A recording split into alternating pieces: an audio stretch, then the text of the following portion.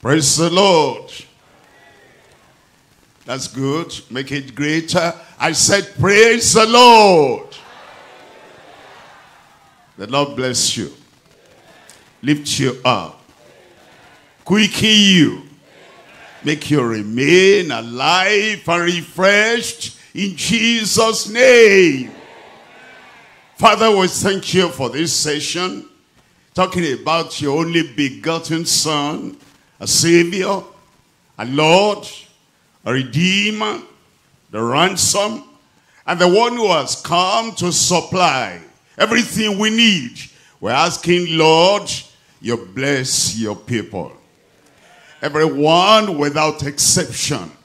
You bless us here and bless them there. Everywhere we're gathered together, having retreat, holding the retreat together. Bless everyone without exception in Jesus' name. I will pray, Lord, our lives will never be the same again. Thank you. In Jesus' mighty name we pray. God has blessed you. You can see that we're coming to the inexhaustible, the irresistible, and the all-sufficient Jesus. We're coming this time to God to talk about his attribute, his quality, his power, and what he transmits to our lives. We're talking for this session on Jesus, the quickening redeemer, savior, and the transforming truth. He quickens us. Look at Ephesians chapter 2. I'm reading from verse 1. And you are he quickened, who are dead in trespasses and sins. That's what quicken, it means make alive, make anew, transform, change, and turn around. You, as you believe, you, as you come to him, you, as you rely on him, you, as he quickened, who are dead in trespasses and sins. Look at verse 5. In verse 5, it tells us, even when we were dead in sins, he has quickened us. Look at that word, quickened us together with Christ. By grace are you saved. We're told in Romans chapter 8, verse 11. It says in Romans 8, 11, it says, But if the Spirit of him that raised Jesus up from the dead dwell in you. It says he that raised up Christ from the dead shall also quicken your mortal body.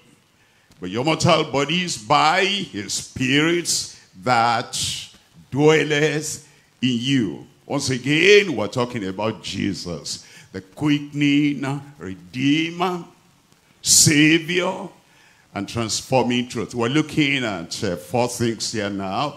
Number one, we're looking at Jesus, the quickened, risen Christ, reviving our souls. Number two, we're looking at Jesus, the Redeemer, are now, the Redeemer from the curse. And the consequences of sin. Number three is Jesus as the Savior, is the sufficient Savior for all souls in every situation, every nation, and every generation. Number four, Jesus is the T, is the truth, and he is sent from heaven to show the heavenly way. Look at number one. Number one, Jesus, the quickening or quickened, risen Christ, reviving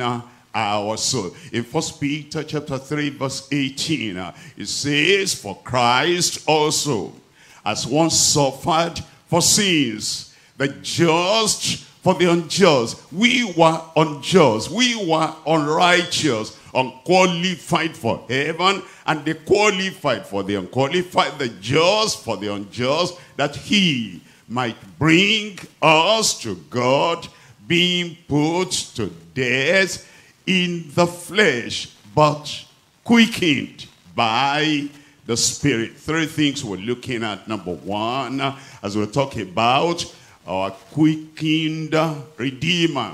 And the quickening Redeemer to number one, the quickening Spirit for raising us to a supernatural stage.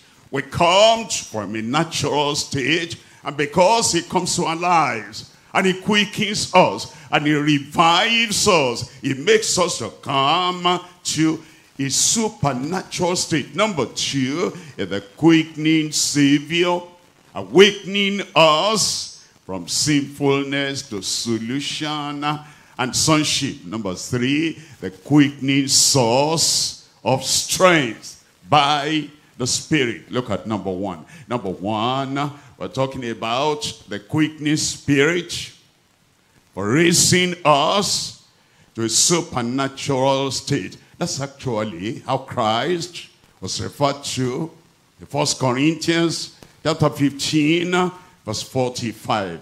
1 Corinthians chapter 15, verse 45. And so it is written, the first man, Adam, was made a living soul. God, the creator, breathed into Adam and he became a living soul. But the last Adam, referring to Jesus, referring to our Savior, referring to our Lord, the last Adam was made a quickening spirit. Made a quickening spirit. That's why when he comes into our lives, he actually quickens us or dead. He quickens us. What dull. He quickens us. What dormant. He quickens us. It's like, you know, in life, sin deadened us. And sin make us dumb, dormant. As if we could do nothing. And then Christ comes into our lives. And he quickens us. He'll quicken you today. And then look at what he does after that. Ephesians chapter 2, we're looking at verse 6. In Ephesians chapter 2, verse 6, we're told now he has raised us up together and made us to sit together in heavenly places in Christ Jesus. His quickening does not leave us where he found us, but now he quickened us, he raised us up, and we're now seated with him in heavenly places. Look at number two. Number two here is the quickening Savior, awakening us from sinfulness to salvation, to solution, and to sonship. It tells us in Ephesians chapter 2 verse 1. Ephesians chapter 2 verse 1 says, And you, as he quickened, who are dead in trespasses and sins. Verse 5, in verse 5 it says, Even when we, all of us, without exception, all have sinned and come short of the glory of God. It says, when we were dead in sins, he has now quickened us together with Christ. And he says, by grace are you saved. Saved. Somebody there. Saved, my brother there. Saved, my sister there saved because Christ came and he quickened us. Look at verse 8. In verse 8 it says, by grace are you saved through faith, that not of yourselves, it is the gift of God. Thank God I'm saved. Praise God, I am saved. It's yours in Jesus' name. Look at number three. Number three is the quickening source of strength by the Spirit. He said, it's expedient for you that I go away. For if I go not away, the comforter, the Spirit, the Holy Ghost will not come. But if I go away, He died, he was buried, he rose, he appeared to his disciples with many infallible proofs for those 40 days, and then they saw him going to heaven. And when he went to heaven, he sent down the Spirit, the Holy Spirit, because now he is the Spirit that dwells with us, and he lives within us. It tells us in Romans chapter 8, Reading from verse 11. But if the spirit of him that raised up Jesus from the dead dwell in you. Have you ever thought about that? The same spirit that raised up Jesus from the dead, so mighty and so powerful that that stone was rolled away. The same spirit the same power that raised up Jesus from the dead, that same spirit now dwells in my body. And inside you there, there's no room for Satan. Inside me, inside me, there's no room for Satan. Because the conqueror of death and sin and Satan now dwells in you. You accept that? Say amen. But if the spirit of him that raised up Jesus from the dead dwell in you, he that raised up Christ from the dead shall also, look at this, look at this, shall also quicken your mortal body Whatever is putting that body down, dead, dormant, dumb, and cannot arise to do anything, that quickening power comes upon your body right now in Jesus' name. Quicken your mortal body by his spirit that dwelleth in you. The spirit dwelleth in me. The spirit dwelleth in me. And all sicknesses, vanish. All dominating power vanish. You know, I, I get blessed when I saw that they just put the Ark of the Covenant in their temple. And Dagon, the chief of their idols, was there. And the ark was there. No high priest was there. And no priest was there. By the time they woke up early the following morning, Dagon was falling down. Your life as Christ abides in you. And the Spirit abides in you. Dagon will fall away from your life. Those people did not understand. Dumb, deaf, dead people they're slow to understand. So they put their Dagon back again. They put their demon idol back again. And then the following day, the presence of the Ark of the Covenant in that place totally shattered and destroyed. Their Dagon, head off, arms off, feet off, and they never worship that Dagon anymore. That Dagon, whatever it is in your life, the Spirit of God enters into you. And every Dagon, every power, everything that Dagon has brought in your life, they're shattered and destroyed, thrown away from your life in Jesus' name. we come to point number two here now. Point number two, we're looking at Jesus, the Redeemer, that from the curse and the consequences of sin. You see Christ, he is the Redeemer.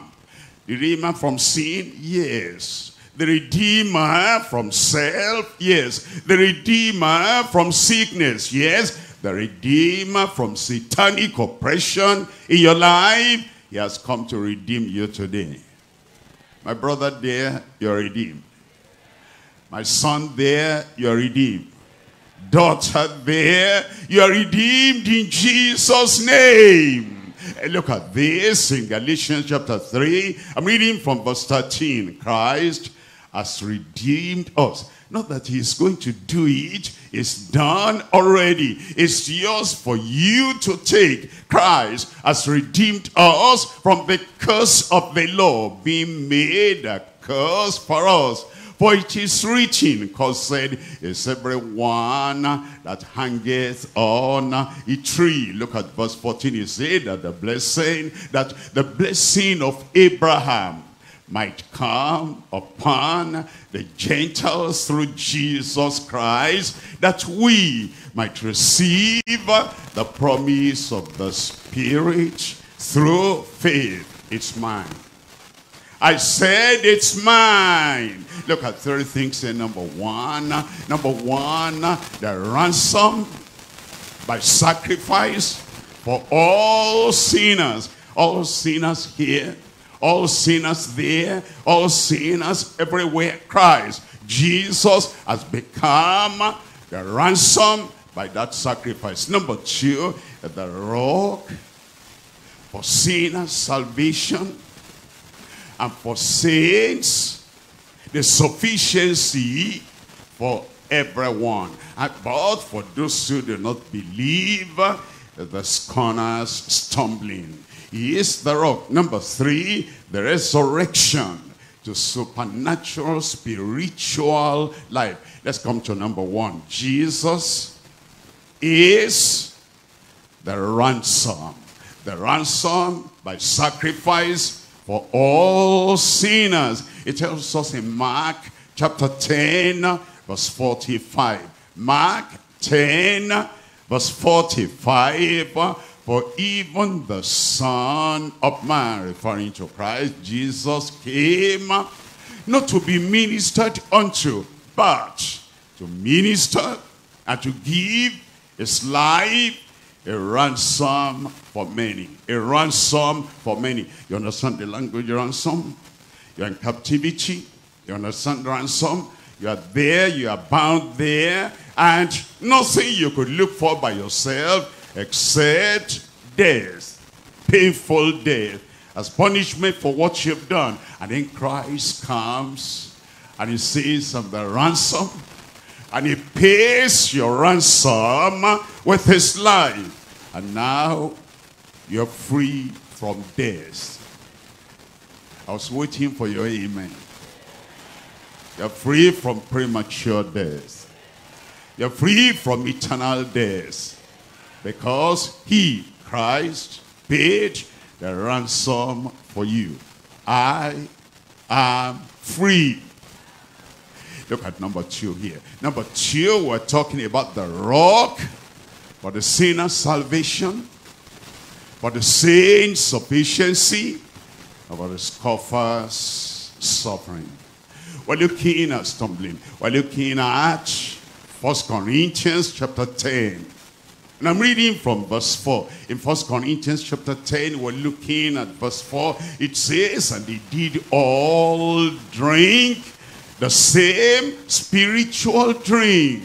And they all drank of that spiritual rock, capital R, that followed them. And that rock was Christ. And that rock was Christ. I see the children of Israel in the millions were going from Egypt, the land of bondage. They were going to Canaan, the land of blessing. On the way, they were thirsty. No water and no source of water. It was like going through a desert. And they cried unto the Lord. And Moses cried unto the Lord, and the Lord showed him a rock a representation of Christ. And he said, strike the rock and water will come out. He struck the rock and water came out for the millions, for the children, for the boys, for the girls, for the men, for the women, the singles, the bachelors, and the fathers and the mothers, and everybody drank. And now the Spirit of God reminds us that that rock that followed them was Christ. Christ the rock. Everything you need today will flow out of that rock into your life. Water of life into your life. and the water of satisfaction, salvation, satisfaction, solution in your life today in Jesus' name. Because the rock has been smitten for it. Look at number three here. Number three, we're looking at the resurrection to spiritual and supernatural life. In John chapter 11, Lazarus had died. And they had even buried him. And they put a stone of never wake up. We'll see you on the final eternal day. And so they put a stone there. And here Jesus comes. And Jesus comes to you now. My brother, my sister, I said Jesus comes to you now. And everything dead in you will rise up. That dead brain will come up again. The dead life will be resurrected again in Jesus Christ, in Jesus' name. Why? Because in John 11, verse 25, Jesus said unto her, I am the resurrection and the life. He that believeth in me, though you are dead yet, he shall live. You believe, you will live. You live a better life here. The life that the cross of Christ has produced. New life. And then when you die, eventually, physically, you'll be in the presence of the Lord forever and ever in Jesus' name. I will be there. So if you get there, look for me, you will see me. You will be there. And when I get over there, I'll be looking for that, my Taraba son, my Taraba daughter. You'll be there in Jesus' name.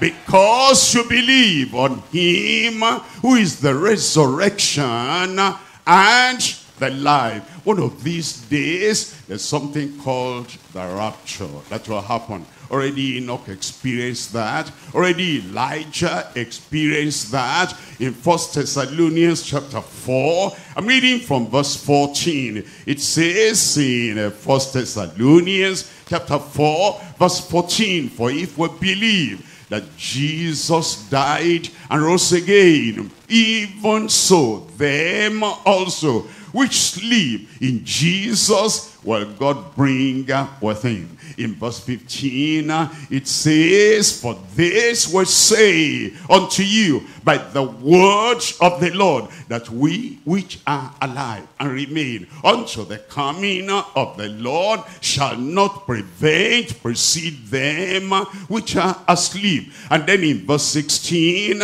it says, For the Lord himself shall descend from heaven with a shout and with the voice of the archangel and the trump of God shall sound and the dead in Christ shall rise first. You lost your amen.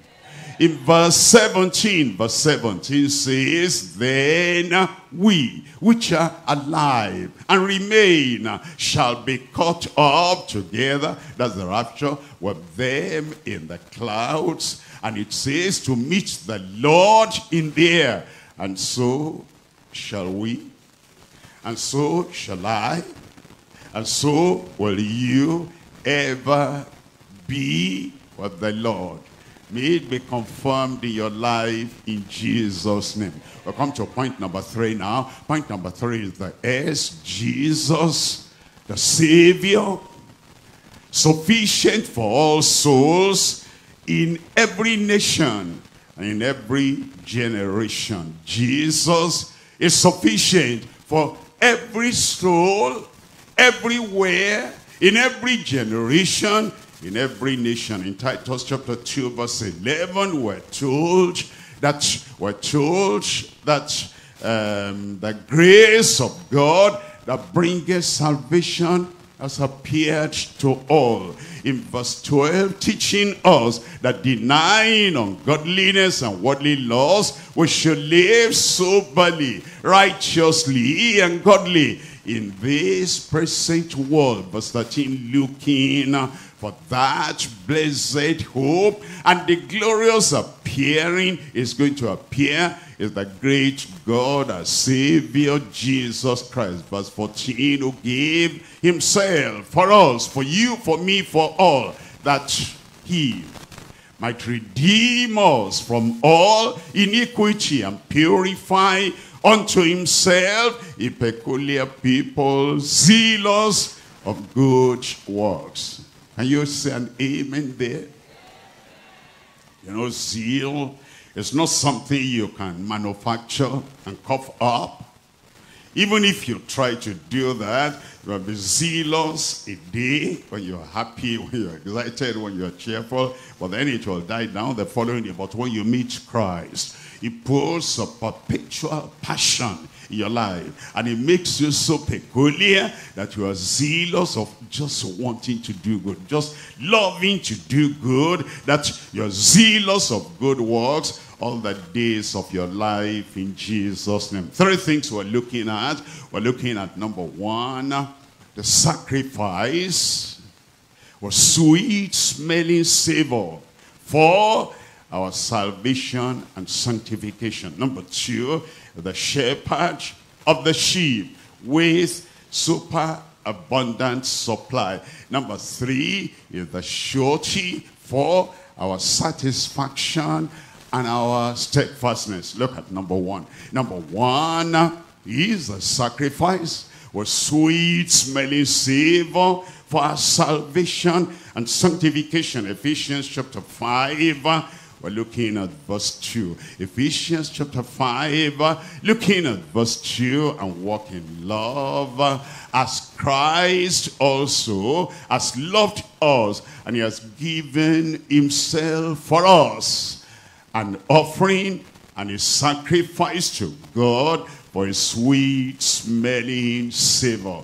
To God, the sacrifice acceptable to God, appreciated by God, approved of God, just comes with sweet smelling savor unto him. For what?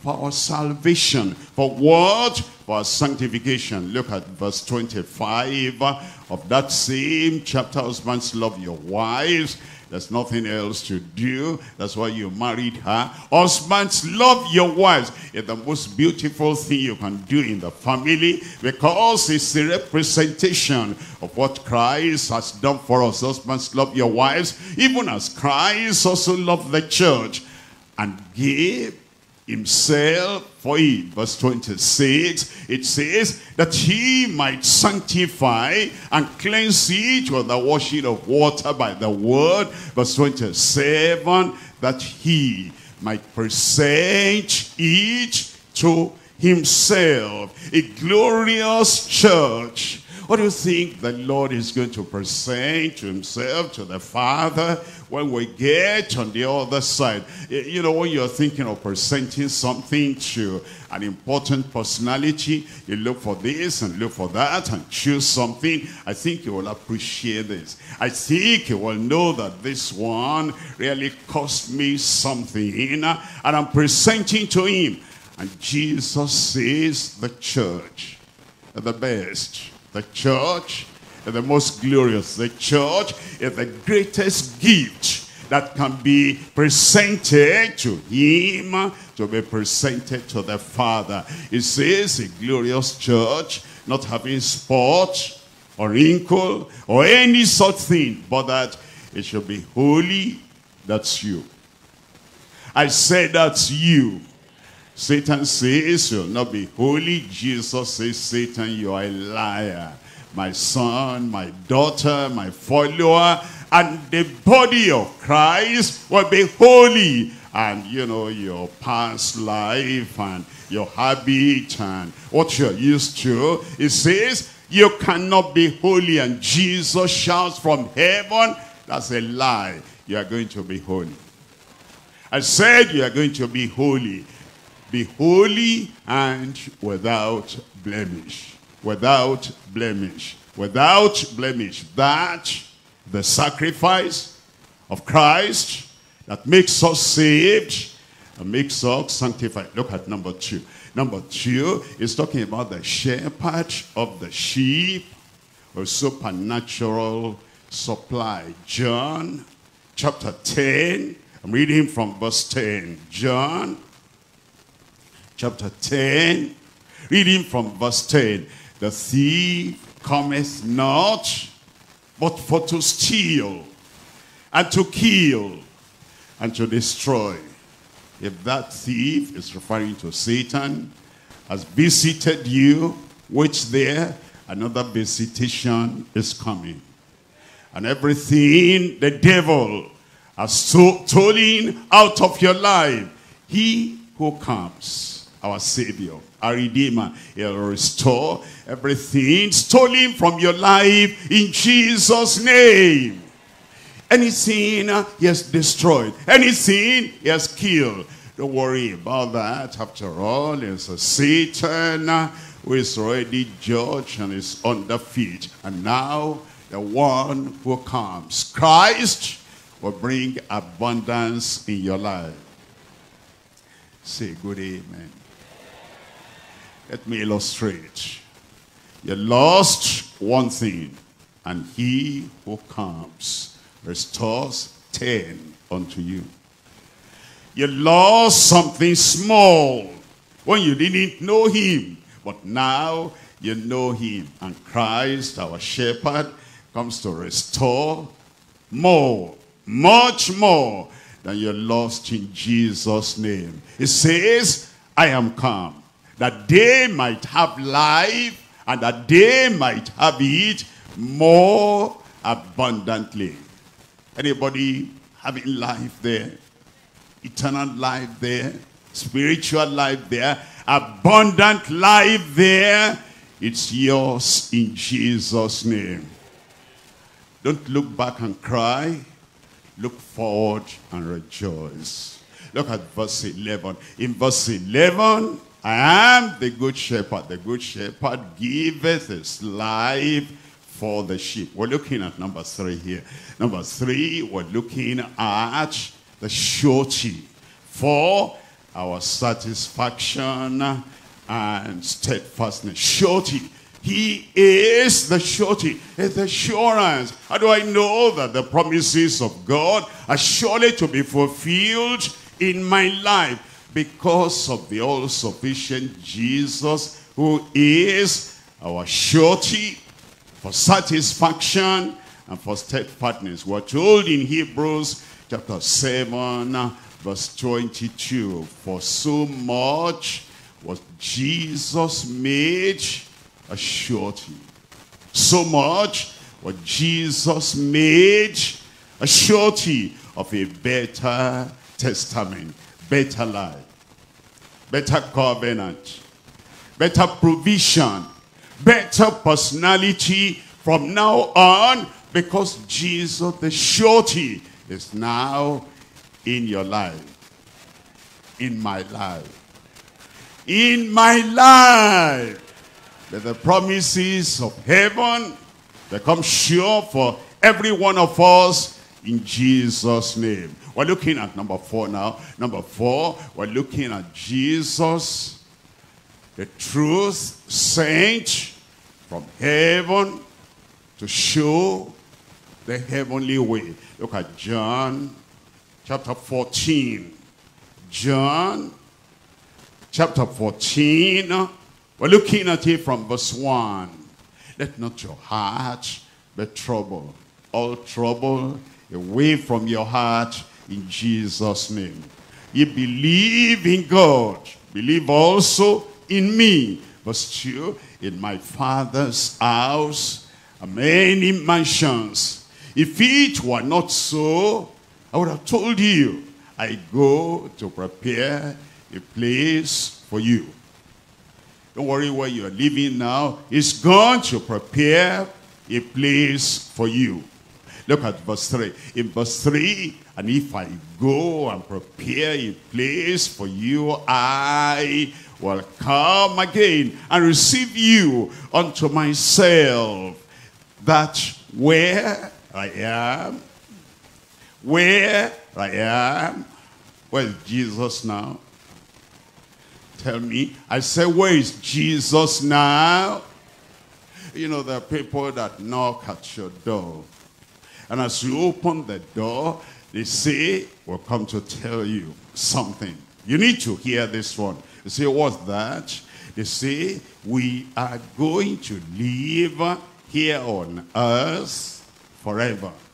Who wants to live in Nigeria for a thousand years? For a hundred thousand years, for a million years, they say that's the message they have for you. I say, I have uh, a better message I got from uh, heaven. Jesus said, where I am, there you will be also. I'll be there. I'll be there. Look at verse 6. In verse 6, it says, Jesus says unto him, I am the way, the truth, and the life. No man cometh unto the Father but by me. He is the way, the truth, the life. He is the way to life in truthfulness. We're looking at three things. Number one, number one, the teacher of the whole truth by the Spirit. Number two, he is the treasure that transforms sons to saints, saints to servers. Number three, he is the tower of safety and security. Shield, the shield from all snares and storms. Look at number one. Number one, Jesus is the teacher of the whole truth by the Spirit. Look at uh, Matthew chapter 22, verse 16. In Matthew chapter 22, reading from verse 16, it says, And they sent out unto him the disciples with the Herodians, saying, Master, Lord, we know that thou art true. Well, whether they believe that to the depths of their hearts or not, that was the truth. Uh, you, you must understand. If you have a dead clock on the wall, that dead clock is right two times in the day. If it stops at five after six, dead, dead battery, dead activation, everything dead. Yet, at 6.05 in the morning, look at that dead clock. It's right, it's correct. And then when you look at that dead clock in the evening, 5 after 6, that dead clock is right. These people, they were dead. They were dead to spiritual things, but they've been observing. And once or twice in their lives, they're true. They're truthful. They're correct. And at this time now they're correct. They say, we know that thou art true. And uh, is, they said, thou teachest the way of God in truth. And it says, neither fearest thou any man, for thou regardest not the person of men. Well, that's absolutely true. Our Jesus, the one that teaches the whole truth, and he teaches by the courage of the Spirit. Look at number two here. Number two, we're looking at the treasure that transforms sons to saints and saints to servants. It'll transform your life. He will transform my life. When you give him the chance, it's the treasure that dwells in us and transforms us. In 2 Corinthians chapter 4, verse 7, but we have this treasure in heaven vessels. We, we, with the believers, we who lean on Christ, and we who trust in Christ and depend on him, we have this treasure in earthen vessels, that is in the body of clay, that the excellency of his power. The reason he dwells in us is so that the excellency of his power be of God and not of us. A power beyond your natural power. When Christ enters in, that treasure will bring the power in your life in Jesus' name. From a sinner, you'll be transformed to a son. From a son, you'll be transformed to a saint. From a saint, you'll be transformed to a server. You will serve the Lord. I said you will serve the Lord. And your service will be acceptable to the Lord in Jesus' name. We're looking at number three here. Number three, we're looking at the tower of safety and security, the shield from all snares and storms of life. Every snare, the Lord will shield you. Every storm, the Lord will shield you. Everything that comes to make you suffer unbearably, the Lord will shield you in Jesus' name. It's a tower, the tower for your safety. The tower for your security. Look at Proverbs chapter 18, verse 10. It says, the name of the Lord is a strong tower. The name of the Lord is a strong tower. Thank God we have a tower of refuge. If Satan is chasing anybody, enter into the refuge and into the security of that tower. Satan will not catch you. Run under the blood of the Lamb. Under the blood of the Lamb, Satan's hand is not long enough to reach you there. And come under the powerful word of the Lord. And under that powerful word of the Lord, you're under the control, under the tower of the word. Satan has no right, he has no power to go beyond himself and reach you there. You're shielded from snares, from storms, in Jesus' name. The name of the Lord is a strong tower, a mighty tower, an impenetrable tower. The righteous runneth into it and he is saved. I come to announce to you today that you are saved. You are protected. You are preserved. And the security in the name will never fail in your life in Jesus' name. We've learned more about Christ. And all we need to do now is to do what the scripture has said. You run into him. You run into the city. Run into the tower. And everything you need for life, for godliness, for earth, for heaven, for getting to heaven, the Lord grant unto every one of you. Are you there? I said, the Lord grant to every one of you. Amen. Why don't you rise up and say, Lord, I come. Lord, I come. It's mine. It's mine. As I see Jesus more and more. Know Jesus more and more.